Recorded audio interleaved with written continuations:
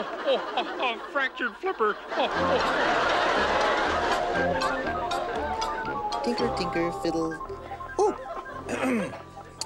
Dr. Bunsen Honeydew here at Muppet Labs, where the future is being made today. Well, I've got some news here to tickle your fancy, because here they are, friends. The answer to your prayers, Muppet's all new edible paper clips. Now, the honor of tasting this first batch of delicious paper clips goes, of course, to my helpful and eager assistant, Beaker. Uh-uh. Oh, Beaker, what is the matter?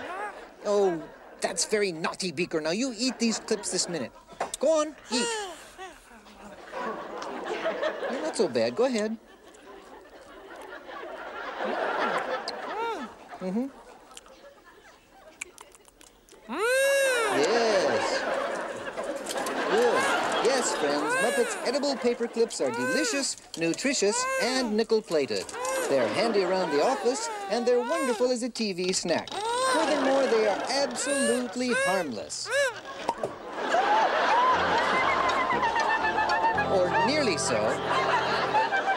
Poor fellow lost his nose. Mm, how will he smell without it? Same as always. Terrible.